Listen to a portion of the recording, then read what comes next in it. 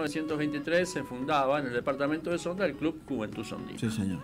que hoy, en la actualidad, cuenta a cargo de la presidencia, la encuentra a la señora Carolina Aravena, a quien voy a tener el gusto de saludarla, y en su nombre, Carolina, junto a Ricardo Aguilera, la saludamos. Un feliz cumpleaños para el Club Juventud Sondina y a toda la familia del club allí en el departamento de Sonda. ¿Cómo anda? Buenas tardes, ¿cómo le va? Muy buenas tardes para ustedes y bueno, la verdad agradecerles por poder expresarme hoy un minutito para ustedes y agradecerles por el por el feliz cumpleaños para nuestra querida institución. Sin dudas, ¿no? Sí, una institución muy importante, muy querida, que por supuesto de la década del 80, incorporada a Liga San Juanina de Fútbol, con un ascenso y una participación en Primera División en el año 2009, que no es poca cosa, ¿eh? Sí, señora, así es. Bueno, nuestro club en el, en el día de hoy cumple 98 años, es la institución deportiva con más prestigio dentro de nuestro departamento y con más, más años. Así que bueno, para mí como, como mujer y representante del club, es un orgullo poder representar a mi querido club Juventud. Bueno, eh, dentro por supuesto de todo lo que estamos viviendo, tiempos especiales, eh, ¿cómo, ¿cómo está la situación? ¿Cómo están preparándose para la vuelta a la actividad con el festejo de por medio? ¿Va a haber algo, Carolina, dentro de lo que está permitido? Si Dios quiere, el día sábado vamos a hacer algo para los socios, algunos sorteos y algo en el, dentro de la institución para festejar su, sus 98 años. Bueno, y la verdad, plantearle que, bueno, que la situación actual que estamos viviendo todas las instituciones que pertenecen a la Liga Sanjuanina no es muy buena. En la parte económica, la verdad que, bueno, que creo que la mayoría de los clubes estamos iguales. Pero bueno, afrontando un desafío que ya pronto se va a dar inicio al campeonato, entonces tenemos la fe y puesta de que, bueno, que van a entrar los socios y poder así de alguna manera tratar de de apuntalar un poco más el club, teniendo en cuenta que, bueno, que como todos los clubes de la Divisional B, esperamos el ascenso este año. Sí, se han armado para ello, sabíamos, por supuesto, venimos siguiendo el campeonato y que están, eh, como siempre, allí expectantes a, tener el protagonismo que, que Juventud Sondina está acostumbrado a, a tener en el campeonato y seguramente se va a dar de esa manera. En el tiempo que lleva, desde que se hizo cargo de la gestión, hemos charlado en el momento que había asumido, por supuesto, eh, dentro de todo esto que está comentando, ¿hay otras actividades que han podido desarrollar o proyectar? ¿Están en esa etapa? Mire, las actividades no se pudieron seguir proyectando porque con el tema de la pandemia se cortó en todas las mm. instituciones por iguales, lo cual eh, Sondina no estaba fuera de todo esto Recién hará menos de 20 días que se ha podido de nuevo empezar los entrenamientos dentro de la, de la cancha de fútbol. Por supuesto, con todo lo que dicta el reglamento de COVID, por burbuja y, bueno, y todo eso. Bien. Eh, vuelvo al tema del día sábado para que eh, la gente, amigos que por supuesto nos están escuchando, los sorteos eh, lo están llevando adelante de a través de una de una rifa que están eh, que no, dentro van a hacer todo en el, club, con, con premios seguramente. exacto, todo dentro de la institución, también acorde a lo que dice el, el, el programa de COVID establecido por la liga, pero va a ser todo dentro de la institución, se va a hacer un, un agape para los socios y en ese momento, bueno, vamos a estar todos los que representamos al club en su policía directiva y bueno, y algunas otras autoridades que van a pasar en la tarde del día sábado por, por juventud. Carolina, ¿cómo le va? Ricardo Aguilera la saluda. Le mando un, afecto grande para usted, para eh, esa hermosa institución como es Juventud Sondina y bueno, felicidades también eh, por estos 98 años. Em, quería consultarle si en, este tiempo, que no más allá de que no han habido actividades y demás, hay algunas instituciones que han podido estar trabajando, haciendo algún tipo de retoques, lo que se ha podido, ¿no? ¿Ustedes han tenido esa posibilidad, Carolina? Mire, desde el momento que asumimos hasta la actualidad, eh, el expresidente de Sondina en su momento eh, hizo la culminación de la obra de los nuevos camarines. En realidad él nos entregó la institución con los nuevos camarines que en realidad le faltaban mucho de los retoques finales, como serían los cerámicos, los espejos, bueno, todo lo que conlleva una obra final. Eso quedó a cargo de nosotros y bueno, gracias a Dios y a la colaboración de cada uno de los socios y fundamentalmente del Ejecutivo Municipal, eh, hicimos posible la culminación de la obra. Mm. Bien, bien, bueno, qué importante. Eh, y en lo deportivo, los eh, jugadores que llegaban desde eh, departamentos alejados para ustedes, por ejemplo, los que iban de aquí de, Capital, de Rivadavia, caso Walter Olivares y demás, ¿han vuelto a charlar con ellos? ¿Van a seguir con ustedes? Gracias a Dios y tenemos mm. un buen plantel y a los chicos que, que pudimos en realidad en su momento traer, no eh, continúan dentro de la institución, se trató de hablar y de arreglar de alguna manera, sabemos que la situación para el club económicamente no es muy buena, pero supieron entender, se ha armado un muy buen equipo, así que bueno, yo sinceramente es el lugar que me toca como dirigente, es agradecer a cada uno de ellos y bueno, y siempre el club está con la buena predisposición de que bueno, de, de lo que necesite el jugador poder por lo menos en lo mínimo estar. Eh, Carolina, eh, es una eh, situación ambigua, digo, una sensación ambigua, porque seguramente hay un poco de tranquilidad de saber que el gobierno ha dicho que a lo mejor cuando retorne el fútbol, si todo sigue bien, puede haber un aforo de un 30-40% de público en los escenarios del fútbol local. Me imagino que eso les traerá alivio porque vuelven a tener un ingreso, pero también está la otra situación, ¿no? El hecho de tener que plantear el protocolo, de tener que trabajar en él, que seguramente no será fácil.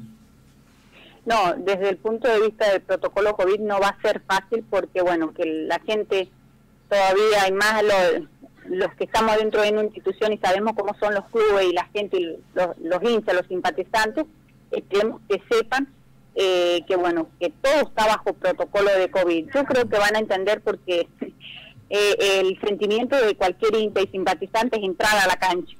Y eso la verdad que nos alivia muchísimo a todos los clubes, no solamente a Sondina, poder que ingresen los hinchas es un alivio para la economía del club.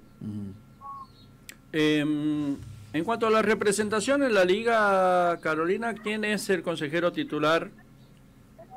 Martín Díaz, ah, le decimos los, los chicos acá. No, está Martín Díaz es el que... Él es el que participa, eh, bueno, obviamente están al tanto, sobre todo en las últimas reuniones, eh, cómo, viven, cómo, cómo trasladan, por supuesto, al seno del club eh, lo que sucede en esto de organizar la vuelta del fútbol, con algunas situaciones que se han venido dando, sobre todo en, en, lo que a la Liga San Juanina de Fútbol se refiere y las reuniones de, de los consejos, estos que no se ponen de acuerdo para definir algunas cuestiones.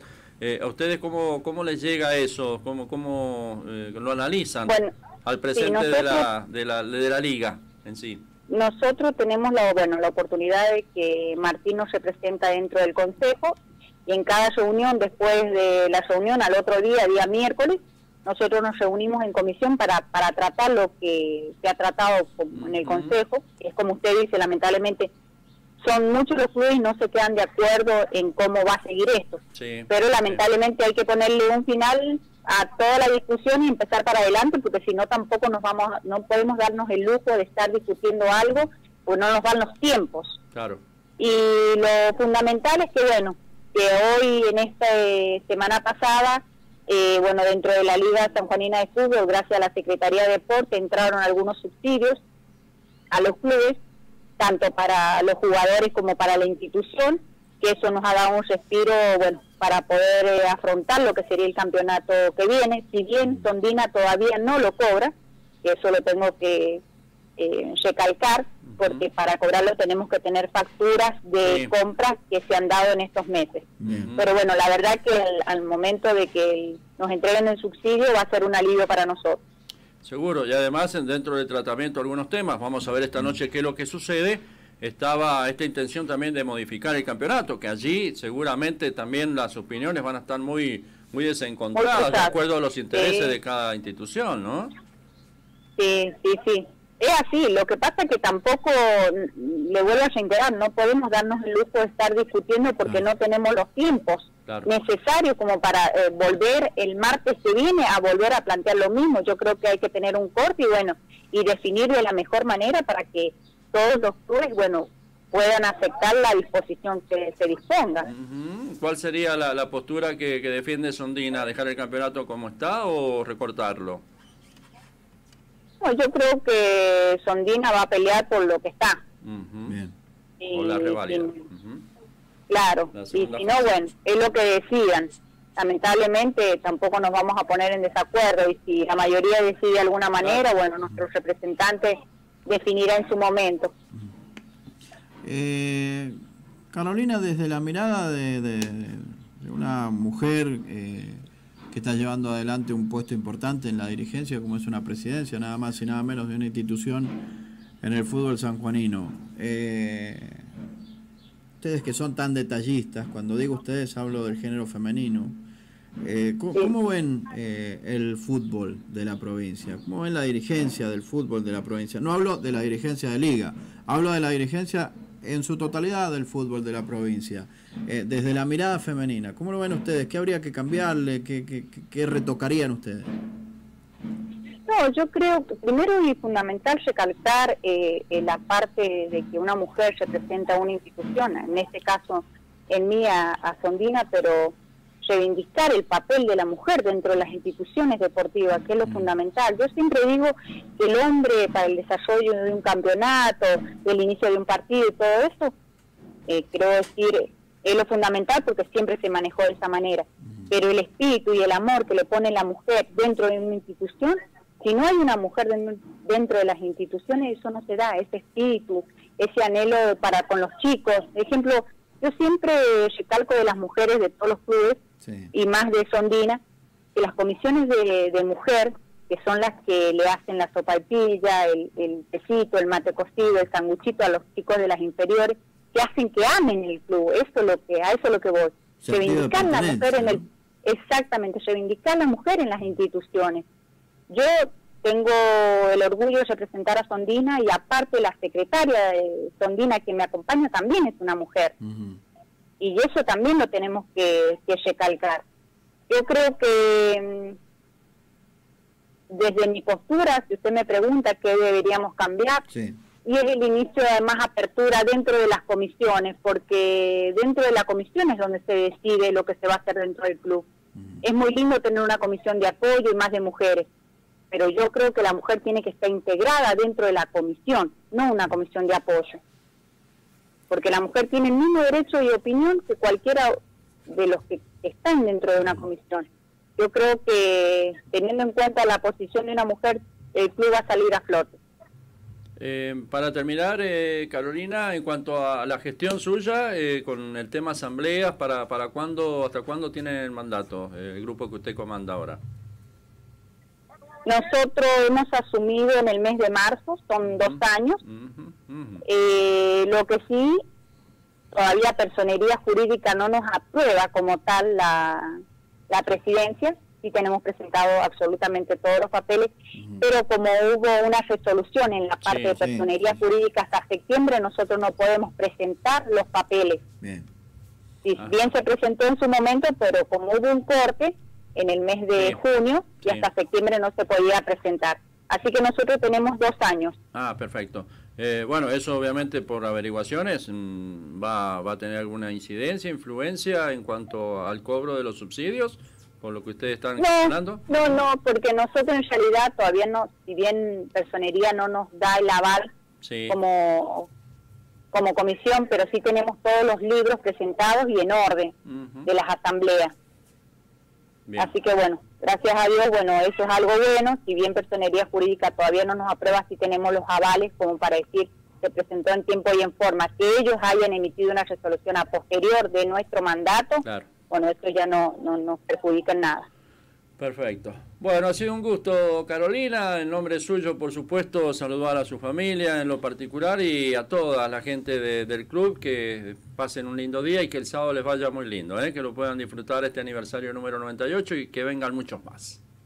Bueno, desde ya agradecerle la oportunidad de poder salir al aire y bueno, y decirle a todo el pueblo sondina que bueno, que la lluvia está de fiesta y que bueno, que los esperamos el día sábado a compartir un ágape dentro de la institución y bueno, y que Sondina pueda seguir cumpliendo muchos más años y bueno, y festejando en familia como siempre lo hemos hecho. Muchísimas gracias a ustedes. Por favor, muchas gracias y buenas tardes. Bueno, está entonces la palabra de Carolina Aravena, presidenta de Juventud Sondina, ¿eh? que hoy está cumpliendo, celebrando su aniversario número 98. Bueno, qué importante la presencia de la mujer. Sí, sí,